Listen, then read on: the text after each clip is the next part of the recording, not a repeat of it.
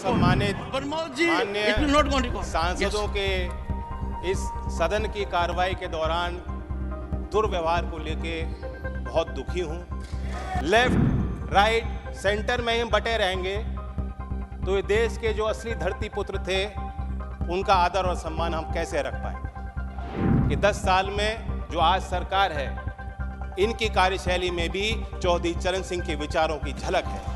जब आदरणीय प्रधानमंत्री जी, ग्रामीण क्षेत्र में शौच की दुर्व्यवस्थाओं पर प्रकाश डालते हैं। जब महिला सशक्तिकरण को अपना प्लेटफॉर्म भारत सरकार बनाती है और गाँव गाँव में जागृति पैदा करती है तो मुझे उसमें चौधरी चरण सिंह जी की बोली याद आती आने वाले सालों में झोपड़ में पैदा होने वाला व्यक्ति, जब वो कहेगा, अगर मुझ जैसा चौधरी चरण सिंह बन सकते हैं, भारत रत्न को मिल सकता है तो मैं भी अपनी समस्याओं का समाधान खुद करने में सक्षम हूँ। एक जमीनी सरकार जो ज़मीन की आवाज़ को समझती है और बुलंद करना चाहती है ऐसी ही सरकार धरती पुत्र चौधरी चरण सिंह जी को भारत रत्न दे सकती है सभापति जी नहीं आज मैं I have given Parmod ji बड़े nothing will senior go on और record. सम्मानित Parmod ji, माननीय it will not go on सांसदों Yes. के इस सदन की कार्रवाई के दौरान दुर्व्यवहार को लेके बहुत दुखी हूँ आपने मेरी ही नहीं देश की भावनाओं को व्यक्त किया सभापति जी। आपने मुझे संरक्षण दिया। बड़ी अचंबा मुझे होती है कि हम चौधरी चरण सिंह जैसी शख्सियत को किसी गठजोड़ के बनने और तोड़ने और चुनाव लड़ने और जीतने तक सीमित रखना चाहते हैं। लेफ़्ट, राइट, सेंटर में ही बटे रहेंगे। तो ये देश के जो असली धरती पुत्र थे, उनका आदर और सम्मान हम कैसे रख पाएँगे? मैं ये मानता हूँ कि देश में जितने महान नेता आए हैं सबने एक दूसरे से कुछ ना कुछ लिया है, सीखा है, प्रेरणाएँ ली हैं। चौधरी चरण सिंह जी गांधीयन सिंप्लिसिटी को अपना असूल बना के उन्होंने जीवन जिया। महात्मा गांधी जी के ग्राम स्वराज को अपना, उनकी मूल फिलॉसफी का वो हिस्सा और चरित्र का हिस्सा रहा। लाल बहादुर शास्त्री की ईमानदारी, नैतिक, उनके चारित्रिक गुणों को उन्होंने अपने अंदर समाया।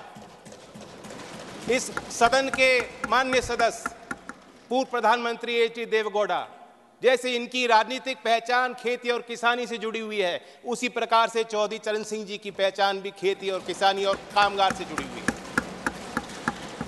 राजनीतिक विशेषज्ञ मानते हैं कि जैसे इंदिरा गांधी जी में एक करिश्माई शक्ति थी, लोगों को अपनी तरफ़ आकर्षित करने की, उसी प्रकार से चौधरी चरण सिंह जी को सुनने के लिए उनको छूने के लिए, उनको बेहतर तौर से समझने के लिए दूर दूर से गाँव गाँव से लोग चले आते थे। और मैं ये भी मानता हूँ, दस साल मैं विपक्ष में रहा हूँ। कुछ ही देर सदन में मैं इस तरफ़ बैठा हूँ। लेकिन मैंने देखा है कि दस साल में जो आज सरकार है, इनकी कार्यशैली में भी चौधरी चरण सिंह के विचारों की झलक है। जब आदरणीय प्रधानमंत्री जी ग्रामीण क्षेत्र में शौच की दुर्व्यवस्थाओं पर प्रकाश डालते हैं। जब महिला सशक्तिकरण को अपना प्लेटफॉर्म भारत सरकार बनाती है और गाँव गाँव में जागृति पैदा करती है तो मुझे उसमें चौधरी चरण सिंह जी की बोली याद आती है। सभापति जी, हम लोग नेताओं को समझ नहीं पाएँगे अगर हम इसी तरह बटे रहेंगे। कुछ लोग उनके अंदर भ्रम है कुछ लोग ये भी कहते हैं मानते हैं कि चौधरी चरण सिंह जी जाटों के नेता थे, या सिर्फ़ किसानों की वकालत करते थे, ऐसा नहीं। वो विचारक थे और उनके इंटेलेक्चुअलिज्म पे जो टेरेंस जे बायर्स, जो प्रोफेसर थे oriental college in African studies, London school में, यूनिवर्सिटी ऑफ़ लंदन में, उन्होंने किताब लिखी है Charan Singh 1902 to 87 N assessment मैं उससे कोट करना चाहूँगा sir Charan Singh did have incisive intelligence and he undoubtedly applied it to a continuing study of agricultural problems in Uttar Pradesh. Judgment on whether he was an intellectual, of course, turns to one definition of intellectual. My judgment is that, on the most rigorous definition, Charan Singh was clearly an intellectual, and not only that, the most unusual one. Sir, जो प्रधानमंत्री जी ने और भारत सरकार ने चौधरी साहब को भारत रत्न दिया है, मैं मानता हूँ उससे दो बड़े काम हो जाते हैं। एक, कि चौधरी साहब की लेगेसी को हम दोबारा इंस्टीट्यूशनलाइज करते हैं। देश के सभी विश्वविद्यालयों में पढ़ रहे छात्र, उनके अंदर आपने एक नई जिज्ञासा पैदा की है।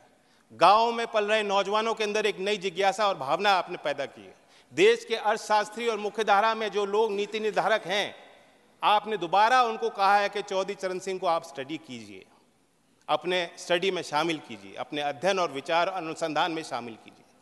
दूसरा बड़ा काम जो भारत सरकार ने किया, भारत रत्न देकर, हौसला बढ़ाया। मैं मानता हूँ कि ये एक महज पुरस्कार नहीं है, सबसे बड़ा सम्मान है। और मैं जानता हूँ कि आज की जो जीवन समस्या देश के सामने और चुनौतियाँ हैं, किसानों की समस्या हैं भारत रत्न देकर उनका हल नहीं निकलता। लेकिन आने वाले सालों में झोपड़ में पैदा होने वाला व्यक्ति, जब वो कहेगा, अगर मुझ जैसा चौधरी चरण सिंह बन सकते हैं, भारत रत्न को मिल सकता है तो मैं भी अपनी समस्याओं का समाधान खुद करने में सक्षम हूँ। ये बहुत बड़ी जीत हासिल हुई है। मैं तो चाहता था कि, क्योंकि चौधरी साहब मेरे अकेले नहीं हैं, एक पार्टी की नहीं है, मैं अपील करता हूँ कि उनके लंबे राजनीतिक और सामाजिक जीवन में जो भी शक्तियाँ उनके साथ आईं, जो भी नेता आज इस सदन में मौजूद हैं, उनके इस लेगेसी का हिस्सा वो भी हैं ज़िम्मेदारी उनकी भी है, कोई वसीयत में कोई संपत्ति वो छोड़ के नहीं गए थे। आदमी तब तक ज़िंदा रहता है जब तक उनके विचार लोगों के बीच ज़िंदा रहते हैं। मैं उम्मीद करता हूँ कि सभी दल के सम्मानित सदस्य गाँव गाँव तक चौधरी चरण सिंह जी के विचारों को ले जाएँगे और मैं फिर अपने तरफ़ से ऋणी हूँ, कहना चाहता हूँ, एक जमीनी सरकार जो ज़मीन की आवाज़ को समझती है और बुलंद करना चाहती है, ऐसी ही सरकार धरती पुत्र चौधरी चरण सिंह जी को भारत रत्न दे सकती है।